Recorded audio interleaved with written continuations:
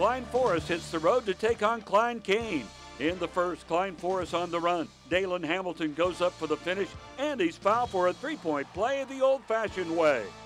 Klein Cain can push the tempo as well. Hurricanes get it to Xavier Owens, who's all alone with a two handed jam. Final seconds of the first, Hamilton with the tricky step back move for three, and he nails it at the buzzer. But Klein Cain leads by three at intermission.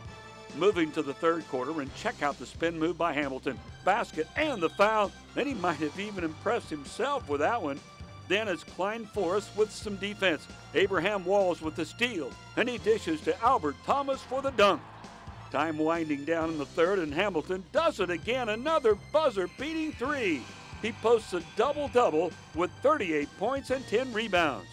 In the fourth, Marion Williams with the steal for the Golden Eagles. He takes it all the way for the layup, and Klein Forest leads by two late. Final moments, Hurricanes looking for the long three for the win, but it's no good, and Klein Forest squeaks out a 65 63 win over Klein Cain.